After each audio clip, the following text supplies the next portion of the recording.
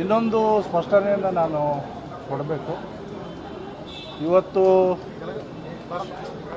ಸಂಜೆ ಒಂದು ಚಿಕ್ಕ ಘಟನೆ ಆಗಿದೆ. ನನ್ನ ಮಗಳು,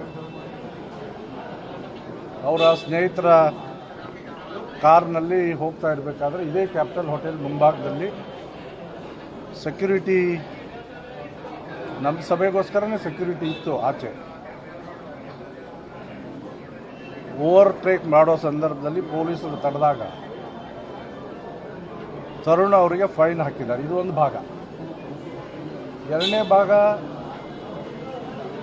ಮಾಧ್ಯಮದವರಿಗೆ ಅವರು ಇನ್ಸಲ್ಟ್ ಮಾಡಿದರು ಅನ್ನುವಂಥ ಹರ್ಟ್ ಮಾಡಿದರು ಅನ್ನುವಂಥ ಮಾತುಗಳು ಕೇಳಿ ಬರ್ತಾ ಇದೆ. ನಾನು ಕೂಡ ಆ ವಿಡಿಯೋವನ್ನು ಗಮನಿಸಿದ್ದೇನೆ. ಅವಳು ಸರ್ ಸರ್ ಅಂತ ಮಾತಾಡಿದ್ದಾಳೆ. ಆದರೂ ಅಕಸ್ಮಾತ್ ಮಾಧ್ಯಮದ ಸ್ನೇಹಿತರಿಗೆ ಹರ್ಟ್ ಆಗಿದ್ದರೆ ಹಿಮ್ಯುಲೇಷನ್ ಆಗಿದ್ದರೆ ಅದಕ್ಕೆ ಕ್ಷಮೆ ಕೇಳ್ತೇನೆ. ಯಾವುದೇ ಕಾರಣಕ್ಕೂ ನಮ್ಮ ಮನೆತನದ ಟ್ರ್ಯಾಕ್ ರೆಕಾರ್ಡ್ ಆ ರೀತಿ ಇಲ್ಲ.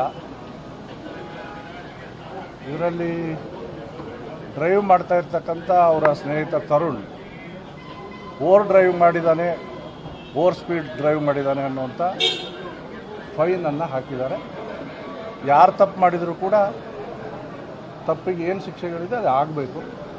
ಅಕಸ್ಮಾತ್ ಅದು ತಪ್ಪಾಗಿದ್ದರೆ ಆ ಶಿಕ್ಷೆಗೆ ಫೈನ್ ಕೂಡ ಹಾಕಿದ್ದಾರೆ.